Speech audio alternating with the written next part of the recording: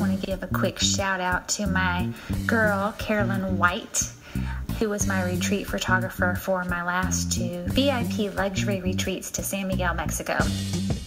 It's hard to find somebody who produces such quality work, who is also as easygoing and laid back and fun to be around. This girl is fantastic. She's super talented. I got a ton of gorgeous, beautiful branded photos. Um, some of the photos that she took of me were just, you know, hanging out, doing my thing, and she captured it. She captured the essence of who I am and my brand.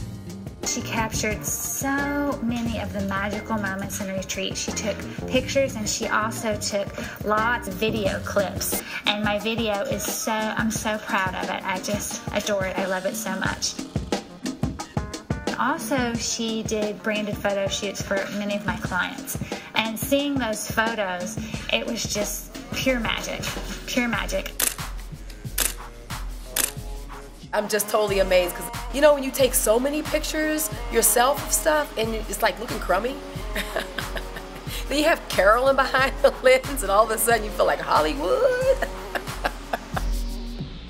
I'm like just so pleased to see myself. I feel like my soul and my energy is coming through like my client will get who I am, you know, like like get my essence. And I think that's what we try to do when we use photography in our businesses, right?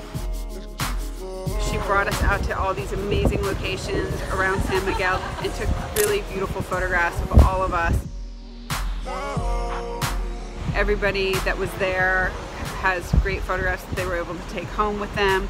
Um, and it was a great bonus for us to have somebody like Carolyn along to capture those moments you know, the idea that you're styling and telling me, you know, do this, do that. I mean, people need that because you don't know what you look like. We're so unaware of our bodies. You can feel like awkward, but then it looks good.